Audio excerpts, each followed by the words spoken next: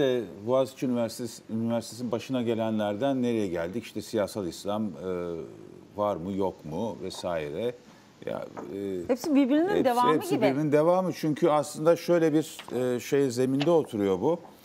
E, siyasal İslam diye bir e, paradigma e, kurarsanız bu o paradigmaya uymuyorsa e, bugün siyasal İslamcı hareketin ana akım siyasal İslamcı hareketin yaptıkları bu siyasal İslam değildir dersiniz. Orada da Yüksel Bey'in e, hatırlattığı örnek çok güzel. Benim de aklıma gelmişti ağzımdan aldı aslında. Reel sosyalizm diye bir şey var. Reel İslamcılık diye de bir şey. Yani reel sosyalizm e, paradigma, e, muhayyel sosyalizmden e, ziyade sosyalizm, sosyalizm adına yapılanlar, uygulama. O da Sovyetler Birliği. İşte reel sosyalizm o. Sosyalizm değil mi? Yargılanacaksa eğer, değerlendirilecekse işte sosyalizm olarak insanlığın ortaya koyabildiği şeyler bunlardı. Yani teori başka, pratik başka.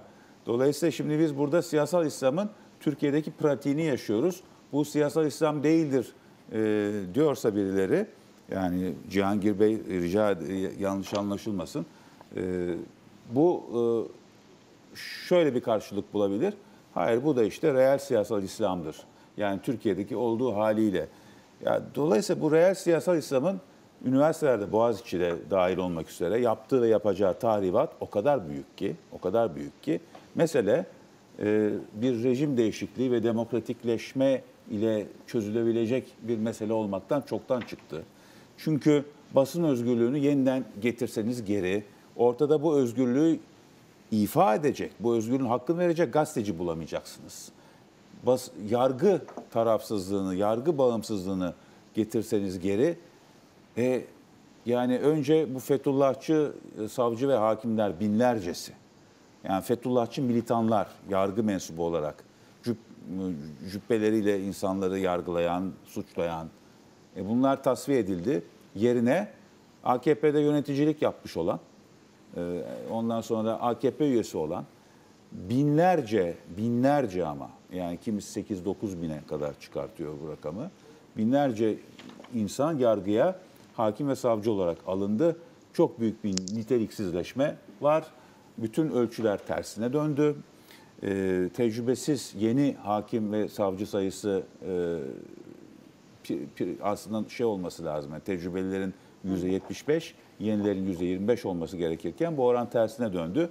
Ee, ortada korkunç bir tahribat, tahribat var. Akademik özgürlük, e, akademik özgürlük geri gelse, yani bu rektörün önümüzdeki 3-4 yıl Boğaziçi Üniversitesi'nde e, temsilcisi olduğu siyasi misyon adına yapacağı tahribatı nasıl ortadan kaldıracağız, nasıl telafi edeceğiz? Neticede 15 Temmuz başarısız darbe girişimi fırsat bilinerek üniversitelerde korkunç bir kıyım yapıldı. Akademik yani akademik kadrolar kıyımdan geçirildi ve üniversiteler totaliter bir yaklaşımla tek tipleştirilmeye çalışıldı. Bu Yüksel Bey'in dediği gibi niteliksizleştirme olarak karşımıza çıktı. Bu ülkenin kaybı. Yani hep bu programlarda belirtiyoruz dördüncü sanayi devriminin şafağındayken biz bu akademik özgürlükle mi, biz bu medya özgürlüğüyle mi, biz bu ifade özgürlüğü ile mi e, bu meydan okumalara e, cevap vereceğiz ve ülke olarak e, bu sanayi devriminin kaybedeni olmayacağız.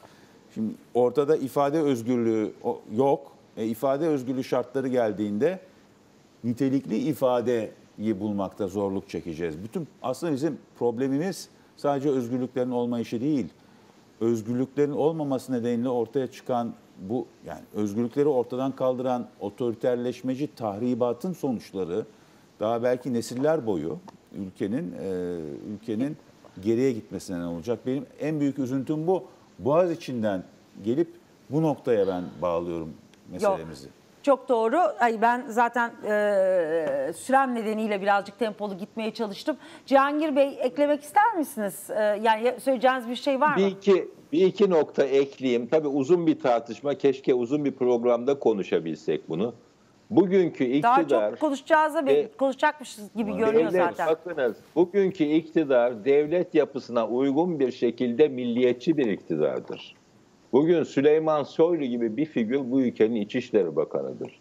Yani Yüksel Hoca benden daha iyi bilir. Bu Hegelyan bir devlet anlayışı ve yapısıdır bu. Yeni bir AK Parti'nin yapmak istediği şey yeni bir ulus inşa etmek. Yani Cumhuriyet'in e, inşa etmeye çalıştığı seküler ulusu kendisi milliyetçi ama milliyetçilik dediğiniz bir içinde mutlaka dinin de olması gerekir.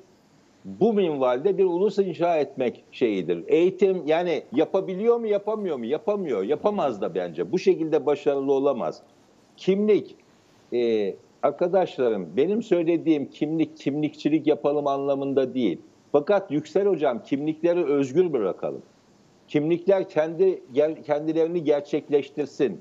Kendi varoluşlarını bu dünyada gerçekleştirsin ve onların sadece bireysel haklarını değil kolektif haklarını da tanıyabilecek çoğulcu bir sistem kuralım.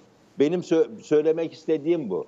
AK Parti'nin yaptığı tipik ulus devletin ulus inşası sürecinde e, yapmaya çalıştığı bir homojenleştirme. Ama son derece başarısız ve bu saatten sonra e, bu toplum tarafından kabul edilmesi de mümkün değil bu tip dayatmaların. Şimdi Türkiye'de acaba şuna bir bakalım. Şimdi Şirin Hanım birkaç yıl öncesine dönelim. 2017 idi zannedersem neyi tartıştık biz? İmamların nikah kıyıp kıymayacağını. O kadar ustalıkla çekilen bir şeydir ki bu. Ama bir imamın nikah kıyması Müslüman bir toplum için son derece olağan bir şey. Şimdi buraya e, sekülerlik adına buraya saldırıldığı anda nikahta önemli olan şudur. Kayıt altına alınması, hukukun geçerli olması. Yoksa kıyan sadece imzayı alır, taraflara imzalatır. Aslında onun bana sorarsanız onun kıyma yetkisi de yoktur. Nikah bir ilandır. Yani iki insan çıkar, biz evliyiz der, e, beyanda bulunur, kayıt yaptırır. Bu e, benim anlayışıma göre yeterlidir. E, bakın girmeyeyim girmeyeyim dedim ama neticede değinmeden geçemeyeceğim. E, şimdi Hı. bu başörtülü hakim olur olmaz anlayışı bütün şeyleri tekrar bir buzdolabına koyayım. Yani ya da çok kötü şeyler çağrıştırmıştır. Ama e, soruşturma açılmasıyla birlikte Sayın Fikir Sağlar'a soruşturma açılmasına sonuna kadar karşıyım. Biz onu bu mekanlarda tartışır, eğer tartışılması gerekiyorsa bir sonuca bağlarız sivil toplumun içinde. Buna sonuna kadar karşıyım.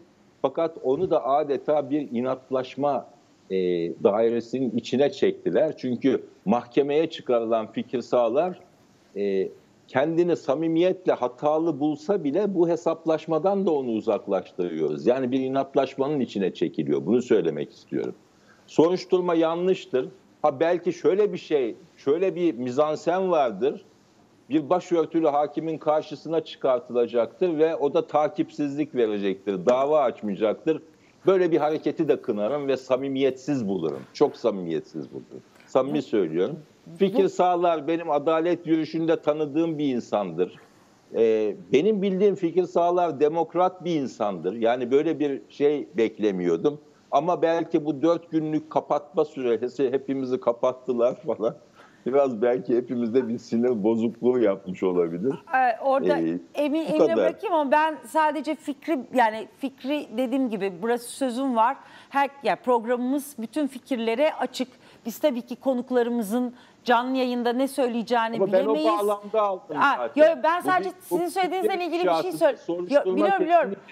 Hayır, hayır o, bunu başka bir yere bağlayacağım. Yani canlı yayın konuklarımızın ne söyleyeceğini bilemiyoruz. Onlara kefil olamayız. Canlı yayın sırasında Yok, her türlü görüş dile getiriliyor. Dolayısıyla e, hani bu bizim programdaki inançlı yani bizim ne düşündüğümüzün dışında bir şey ama Fikri Bey de kendisini şöyle savundu. Dedi ki ben orada o örneği verirken daha önceki cümlelerimde Türkiye'de artık bir türban meselesinin kalmadığını, böyle bir meselenin olmadığını ve bunun toplumda bittiğini söyledim. Örneği verirken şunu söylemeye çalıştım. AK Parti bizi öyle bir noktaya getirdi ki artık bütün hakimlerin siyasi görüşlerinden Irak ayrı ve gayri bir karar verebileceklerine emin olamıyorum. Onu örneklendirmek istedim dedi. Her gün söylüyoruz bunu. Mecliste de dışarıda onun- da her gün bunu Onun söylüyoruz. açıklaması bu. Ben sadece onun yaptığı açıklamayı söylüyorum.